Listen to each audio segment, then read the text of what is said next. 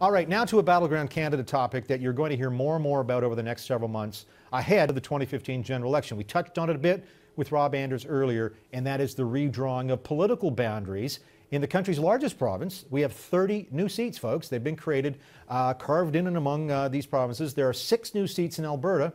Duane Bratt is the chair of the chair of and professor in the Department of Policy Studies at Mount Royal University in Calgary. Duane's sitting there where Rob Anders was just a few minutes ago. Yep. Duane, let me ask you first about Rob because you've had sort of a front row seat for this fight that Rob is saying nine times, nine times he's had to face off against uh, presumably what you call the conservative establishment uh, that doesn't like Rob Anders. Um, is there any reason to expect that this time will be different?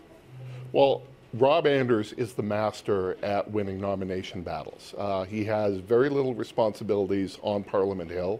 He's never going to get into cabinet. He's not going to be a parliamentary secretary. So his focus is on making sure that he remains the conservative candidate in what was Calgary West and is now Calgary Signal Hill. So I would not underestimate Anders. Uh, he'll use any trick in the book to make sure he wins his nomination. And he's taken on some pretty heavy hitters, but I think Ron Liepert is the biggest one to go after him.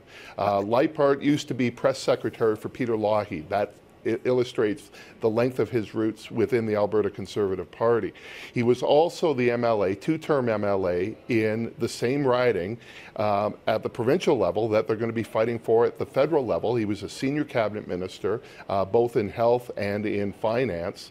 Um, Liepert is going to be a formidable foe, probably more so than Redford. Redford in 2004 was not uh, she was an elected official. Yeah. She was a nobody, yeah. Uh, Ron Liepert is not. And so it's, it's going to be a tough battle. Um, I'm looking forward to watching that one. And, and you know, as uh, we've seen conservatives come under fire in Alberta because, of course, everybody knows you win the nomination if you're a conservative. You know, it's almost a slam dunk that you're going to be the MP. Leon Benoit in Vegreville Wainwright, he he had yeah. some attacks that he had to fend off. I know Mike Lake up at Edmonton, um, he had to keep fending off Tim Uppal before Tim Uppal actually won uh, a riding there. We've got a riding open in Macleod. We're seeing seven people right now compete for a nomination there. Edmonton St. Albert, Brent Rathgeber, the independent, leaves it open for some conservatives to have a fight. There's all these fights, and now we've got this extra wrinkle of these, these, these new districts. Let me get your sense of the redistricting. Do you have any thoughts about the way things were carved up? Are there some weird ones? Are there some opportunities no, I, for, for liberals or new Democrats, maybe?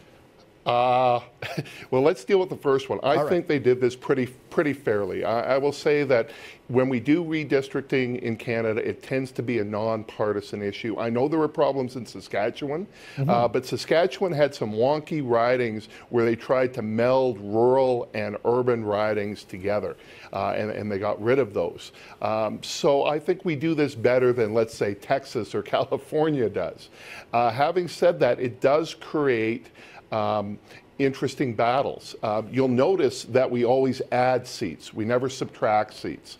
And that's because we don't want to merge two seats into one and have two incumbents battling it out. And it makes it so much easier just to add additional seats, which is why our House of Commons is getting way too big. Uh, interestingly, the Nova Scotia provincial election, which we covered here on Battleground, of course, they went from 55 seats to 54, but they had retiring incumbents in just the right spots, so nobody exactly. was, was running against it. So things are getting bigger, and, and one of the things is we have been looking at polls over the last several months, and we continue to see Justin Trudeau's Liberals leading in the, in the, the national uh, uh, you know, popular vote a lot of conservatives say to me, say, you know, yes, they'd rather be higher in the polls than they are, certainly, but they say we're going to get six new seats in, in Alberta. They're going to get new seats in BC, mostly in the lower mainland, get new seats around the GTA in Toronto. In other words, going to get new seats everywhere conservatives are already winning lots of seats, and that may really play into the favor of the conservatives come oh, 2015. Oh, I think so. And I've heard people say, you know, that this was done, uh, you know, to support the, the, the, Conservative Party. No, the fact is the Conservatives are strongest where the economy is strongest, where mm-hmm. population mm. growth is the strongest. And so in, in uh, you know, the GTA area, in Alberta, and in the lower mainland is the growth centers of this country. And that's where the seats are, and that's where the Conservatives do very well.